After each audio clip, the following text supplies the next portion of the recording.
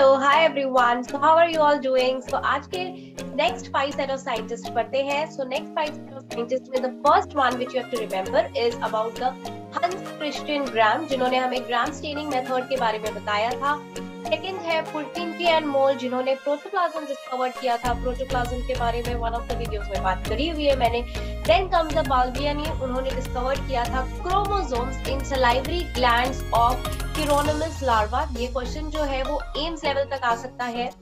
Then comes Potter जिन्होंने endoplasmic reticulum discover किया था। And the last one is E Benda who named mitochondria okay so apart from five today I have one more that is six because ये last scientist था from the chapter cell of the unit of life तो मैंने सोचा क्यों ना इसे डाल दिया जाए सो दैट इज़ सी जी डूवे उन्होंने डिस्कवर किया था about the life of zone So uh, I'll meet you soon with the next five set of scientists from your 11th standard textbook. Till then, bye.